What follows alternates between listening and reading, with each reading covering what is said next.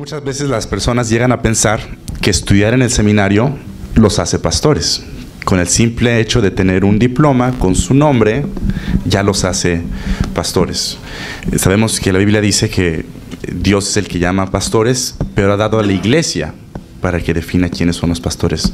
Eh, ¿Por qué es importante estar entonces involucrado en una iglesia local a la hora de ser preparado para el ministerio? No sé si Henry podrías hablar al respecto. Sí, yo recuerdo hace unos años que enseñaba en una institución, que no voy a decir el nombre ni, dónde, ni qué país, donde un estudiante en particular me dijo con la cara así, yo me gradué, gradué del seminario y saqué mi título de pastor.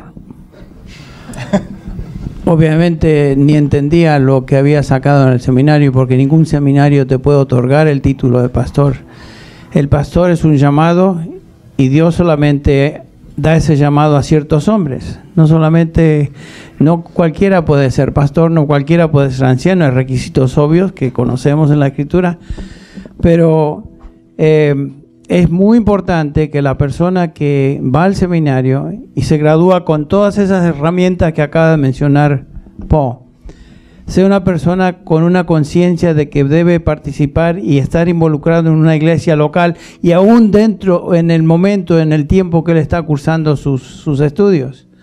Porque la iglesia local se transforma en el laboratorio donde ese individuo puede poner en práctica lo que está recibiendo.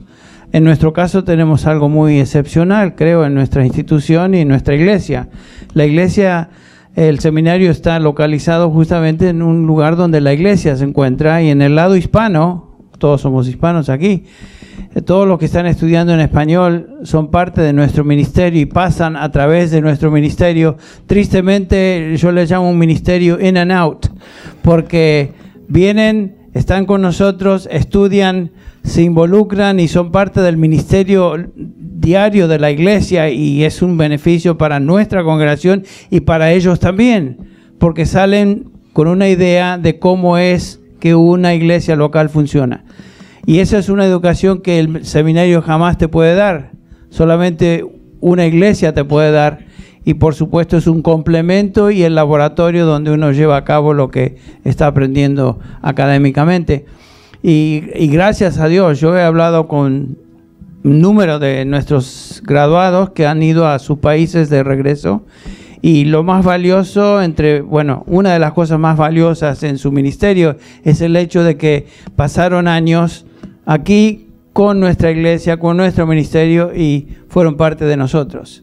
Y la verdad que es una, han sido una bendición para nosotros y creo que nosotros hemos sido una bendición particular para ellos. Y el ministerio que ellos ahora pueden llevar a cabo siempre recuerdan, ah, tengo este patrón, tengo este modelo y puedo tratar de implementar algo similar, no tiene, no tiene que ser idéntico. Claro, sí. Sí, habiendo recibido ese privilegio, yo eh, pienso en el versículo donde Jesucristo dice que el alumno después de haber sido completamente entrenado será como su maestro. Y muchos van a seminarios en donde todos los profesores son académicos, que no sirven en ninguna iglesia local. Luego cuando terminan, pues acaban siendo iguales, académicos sin una pasión por la iglesia local. Entonces creo que es sumamente importante si, si la, la, motivación es ir a un seminario para capacitarnos para ser un pastor, que vayamos a un lugar que enfatiza eso.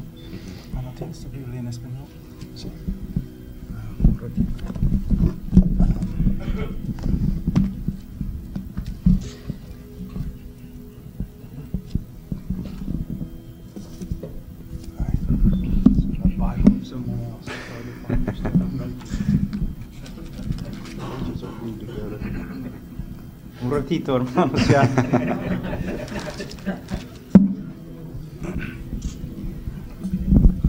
En 2 Timoteo capítulo 2, versículo 2, lo que has oído de mí ante muchos testigos, esto encarga a hombres fieles que sean idóneos, idóneos para enseñar también a otros.